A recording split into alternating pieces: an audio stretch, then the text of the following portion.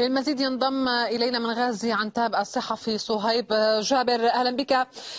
سيد صهيب إلى هذه النشرة. إذا الرد الإيراني الانتقامي المميت يأتي الآن على مواقع في البوكمال. لمن هذه المواقع؟ من يسيطر على تلك المنطقة؟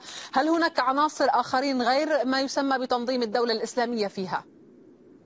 بداية أحييكم السادة مشاهدي التلفزيون العربي. أه، حقيقة المعلومات التي وصلتنا أشارت أن المواقع التي تم استهدافها هي تابعة لتنظيم الدولة في ريف دير الزور الشرقي في الضفة الشرقية لنهر الفرات تحديدا.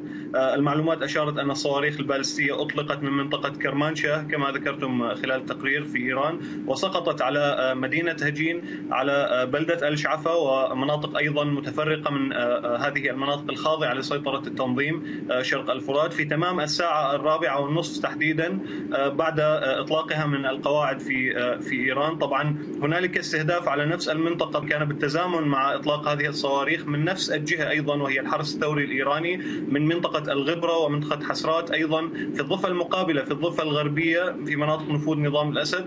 من هذه المنطقة أيضا تم استهداف منطقة هجين بأكثر من 300 قذيفة صاروخية خلال الثلاث أيام الماضية تحديدا. يجدر التنويه هنا في هذه النقطة وفي هذه المعطيات المعطيات جميعها أن آه، آه، ليس كل ما بدر من آه، تصريحات من إيران هو صحيح. هنالك أعداد كبيرة من المدنيين متواجدين محاصرين من قبل التنظيم ومحاصرين أيضا من قبل جميع أطراف الصراع الآن في هذه المنطقة. أكثر من خمسين ألف مدني ما زالوا متواجدين في هذه المنطقة ونستطيع تصور مدى مدى الضرر الذي قد يلحق بهم من استخدام مثل هذه الصواريخ التي هي ليست الأولى من نوعها على دير الزور. أواخر العام 2017 أيضا أطلقت إيران صواريخ صواريخ من نفس النوع على مدينة دير الزور واستشهد عدد كبير من المدنيين وعلى الريف الشرقي تحديدا. أشكرك.